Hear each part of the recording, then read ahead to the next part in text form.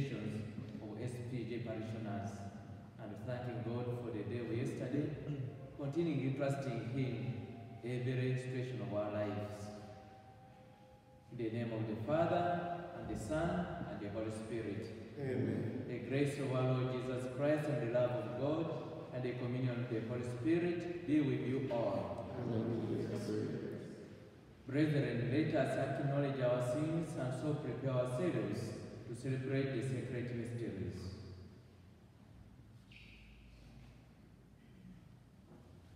I confess to Almighty God and to you, my brothers and sisters, That I I have greatly sinned in my thoughts and in my words, in what I've done and in what I've failed to do, through my fault, through my fault, through my most grievous fault. Therefore I ask blessed Mary, Virgin, all the angels and saints, and my brothers and sisters, to pray for me to the Lord our God. May Almighty God have mercy on us, forgive us our sins, and bring us to everlasting life. Amen. Lord have mercy. Lord have mercy. Christ have mercy. Christ have mercy. Lord have mercy. Lord have mercy. Let us pray. Stir up the will of your faithful, we pray, O Lord, that striving more eagerly to bring your divine work to fruitful complete- completion, they may receive in greater measure the healing remedies of your kindness. Through our Lord Jesus Christ, your Son, who lives and reigns with you in the unity of the Holy Spirit, one God forever and ever. Amen.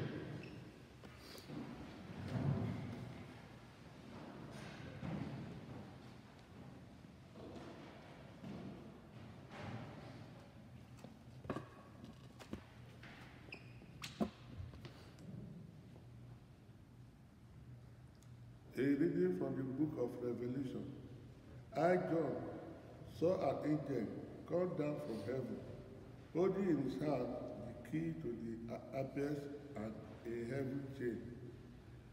He seized the dragon, the ancient serpent, which is the devil or Satan, and tried it up for a thousand years and threw it into the abyss, which he locked over it and sealed so that it could no longer lead the nations astray until the thousand years are completed.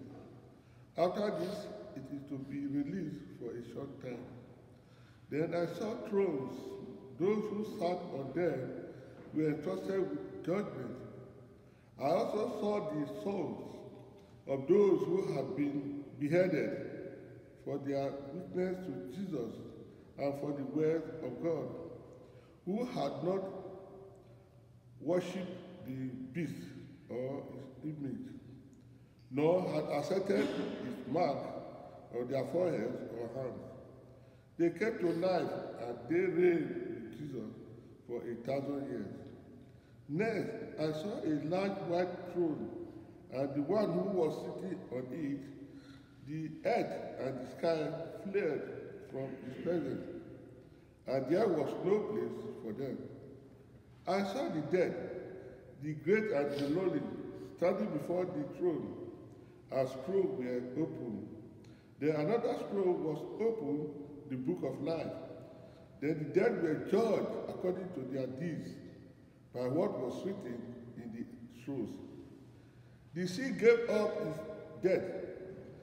Then death and Hades gave up their dead. All the dead were judged according to their deeds. The dead and Hades were thrown into the pool of fire. This pool of fire is the second death.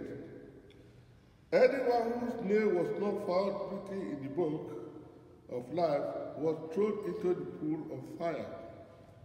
Then I saw a new heaven and a new earth. The former heaven and the former earth had passed away, and the sea was no more.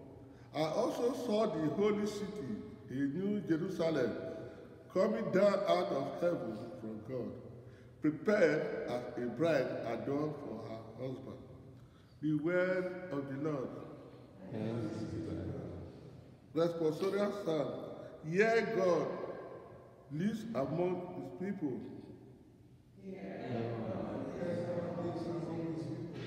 My soul yearn and peal for the court of the Lord.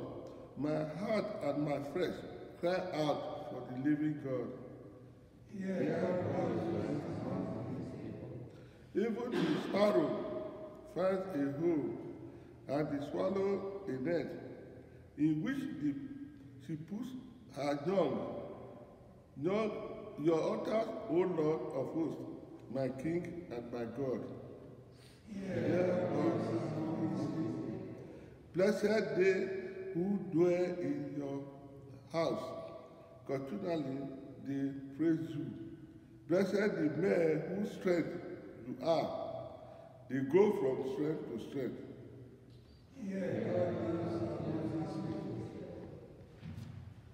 Hallelujah, hallelujah. Hallelujah. Stand erect and raise your head because your redemption is at hand. Hallelujah. Hallelujah.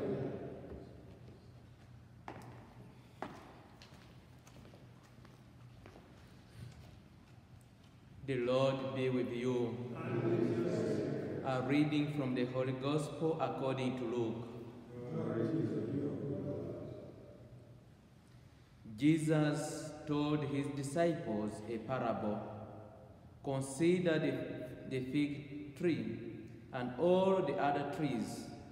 When their buds burst open, you see for yourselves and know that summer is near, is now near. In the same way, when you see these things happening, know that the kingdom of God is near. Amen. I, I say to you, this generation will not pass away until all these things have taken place. Heaven and earth will pass away, but my words will not pass away. The Gospel of the Lord.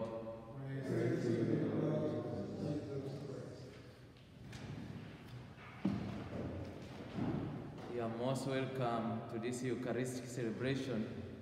After thanking God yesterday for the Thanksgiving holiday, today we are here again in front of Him, asking Him His graces, His blessings and protection, that we go ahead in His own ways, in, the, in His ways of love, peace, and unity. We are still continuing reflecting on the book of Revelation, whereby today John saw an angel in his vision tying up the dragon, Satan, the serpent,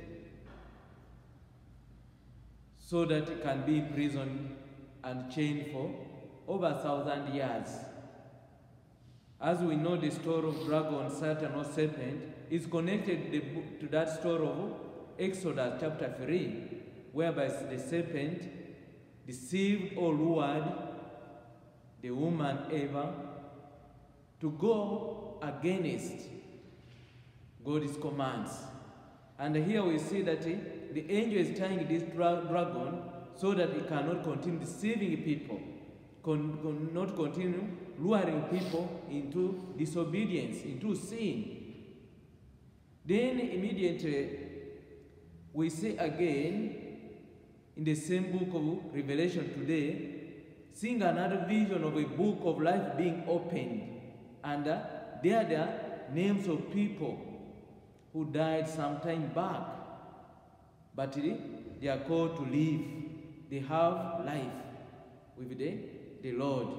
So in the first reading today, we are called upon to be always attentive, not to give opportunity to the devil, this dragon, to lure us into sin, into disobedience, or to compromise with our vocation, our faith. We are called to remain strong in the ways of the Lord through prayer, through the sacrament, through entrusting everything to God in prayer with faith and hope. Then we are called to be people of life, advocates of life, so that our names are written in this book of life. Remember that in baptism, our names were written in that book of life. Are we still in that book of life? Or we have been lured, deceived by this dragon, and we have gone astray? We pray for our young people. Many of them are being lured by media. They continue believing and acting in a, in a way that is contrary, which is against the, uh, their Christian calling, their identity as Christians. We pray for them that this dragon should not steal them from God, that they remain strong in faith, strong in the church, strong in the sacrament. You parents and grandparents instructed them or guided them to receive. Also, we pray for the people who have fallen, that they may rise and come back to the right way, come back to God, come back to the sacrament and receive them with faith. There are many dragons, there are many uh, Satan or serpents which lure people. Let us continue being attentive, let us continue being people of life, and make sure that eh, our names remain in that book of life in which we are written or registered during baptism. In the gospel of today, Jesus is telling us to be observant of the signs of the time. That when we see the tree, the, the fig tree shading off, or uh, other sign, other trees, we know that it is almost summer. It is almost uh, autumn or winter. Few days, few months ago, we are seeing the trees here with the uh, yellow flowers or leaves falling, and people know that today the season is changing. We are always keen on that. So, as we are keen on the worldly things, we are also called to be keen on the, on the calling of God, to be observant, learning the signs of time. When you pass in the streets, in the stores, there are already signs of, of Christmas. Christmas trees are being sold, flowers are being sold before even beginning the, the Sunday of Advent. Let us be observant that these signs lead us, inspire us, that we be transformed and be prepared to welcome the Lord in a proper way possible and celebrate it when we are really full of joy, full of that wholeness which we are called upon. We pray that the good Lord who gave us, who inspired us to come today, may continue inspiring us, that our names remain in the book of life.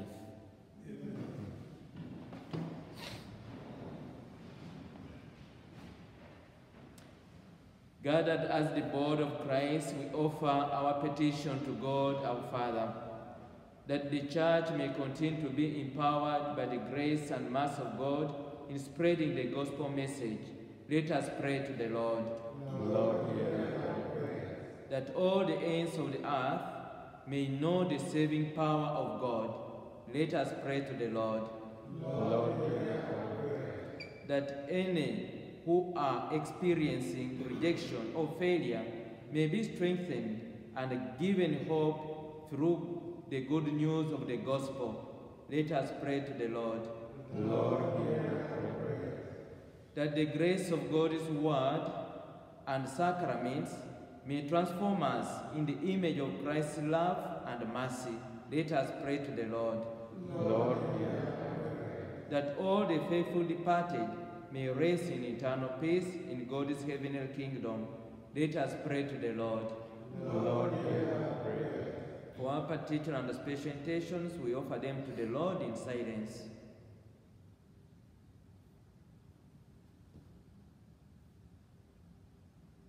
Let us pray to the Lord. Lord, hear our prayer. Merciful Father, look with favor on the petitions we offer in the name of your Son, Jesus Christ. Amen. May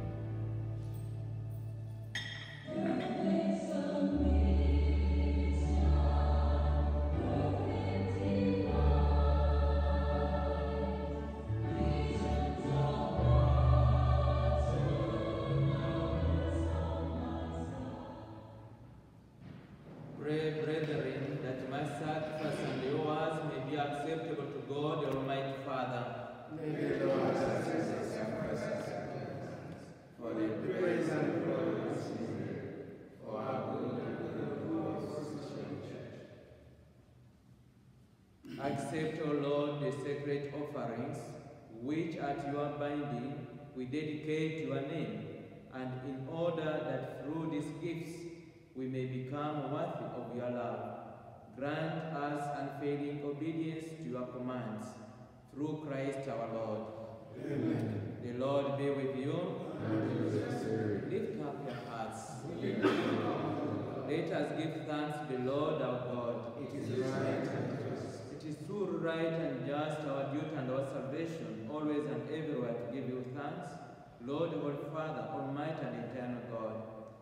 For just as through your beloved Son you created the human race, so also through him, with great goodness you formed it anew. And so it is right that all your creatures serve you, all the redeemed praise you, and all your saints with one heart bless you. Therefore we too extol you with all the angels, as in joyful celebration we acclaim. Holy, holy, holy, Lord God of hosts, heaven and earth are full of your glory. Hosanna in the highest. Blessed is he who comes in the name of the Lord. Hosanna in the highest. You are indeed holy, O Lord, the fount of all holiness.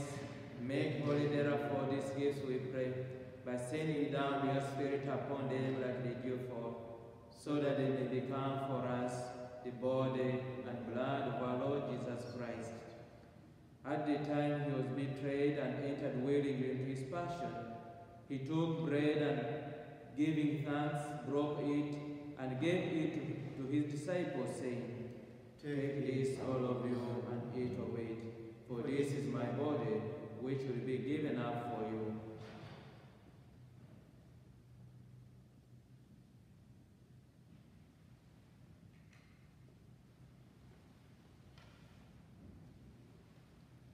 In a similar way, when supper was ended, took the chalice and once more giving thanks, he gave it to his disciples, saying, Take this, all of you, and drink from it. For this is the chalice of my blood, the blood of the new and eternal covenant, which will be poured out for you and for many, for the forgiveness of sins. Do this in memory of me.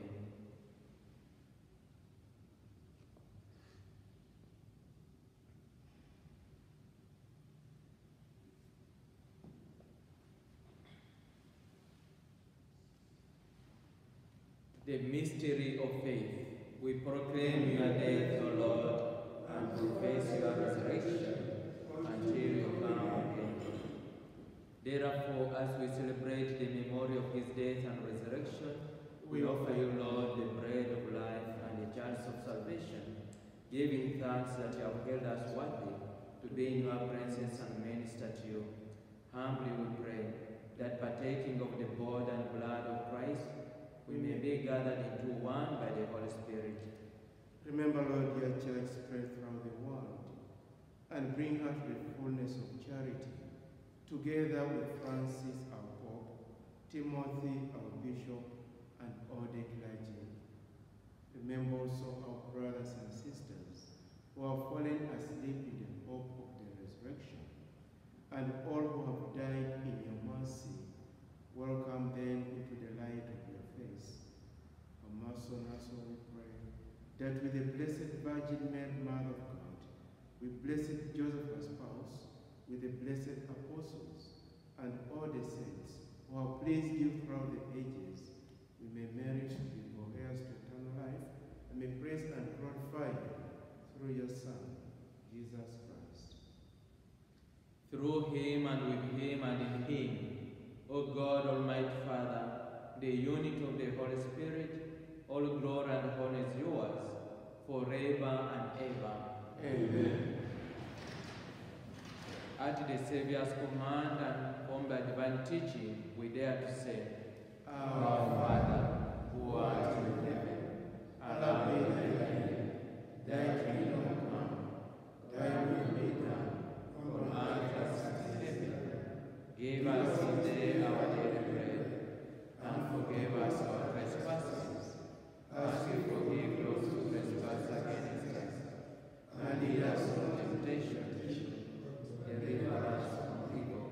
Deliver us, Lord, we pray, from every evil. Graciously grant peace in our days, that by the help of your mercy we may be always free from sin and safe from all distress, as we await the blessed hope and the coming of our Savior, Jesus Christ. For the kingdom, the power, and the glory Lord Jesus Christ, who said to apostles, Peace I leave you, my peace I give you. Look not on our sins, but on the faith of your church, and graciously grant her peace and unity in accordance with your will, who live and reign forever and ever.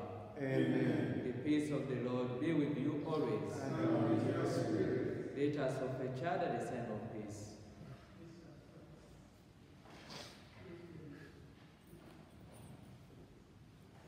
Lamb of God,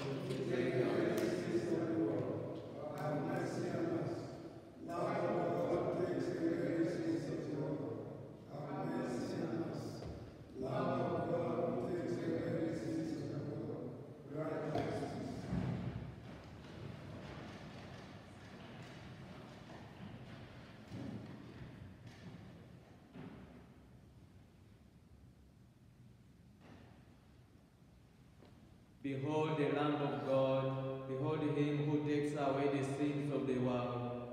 Blessed are those called to the supper of the Lamb. Lord, I am not worthy that you should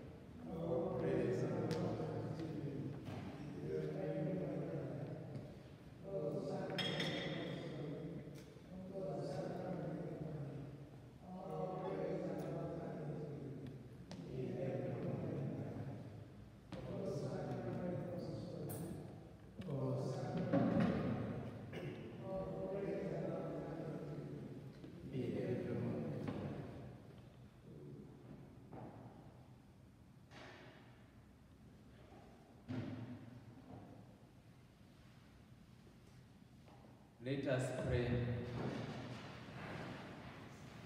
We pray, Almighty God, that those to whom you give the joy of participating in divine mysteries may never be parted from you. Through Christ our Lord. Amen. The Lord be with you. And with your spirit. May Almighty God bless you, the Father, and the Son, and the Holy Spirit. Amen. Go forth in peace, the Mass is ended. Thanks be to God. Have a blessed day and a good Black Friday. Thank you. Saint Michael the Archangel, defend us in battle. Be our